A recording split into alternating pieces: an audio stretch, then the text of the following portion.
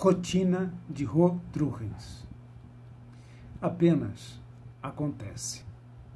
Acontece que os olhos se fecham no começo do fim de cada madrugada.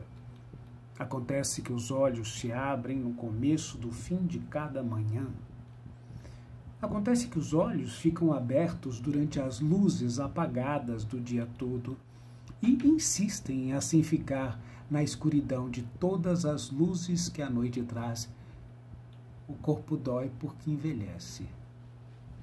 E isto é irreversível.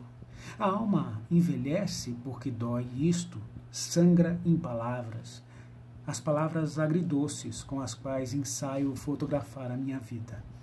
Salgadas fossem, talvez, melhor o fizesse, pois lágrimas seriam.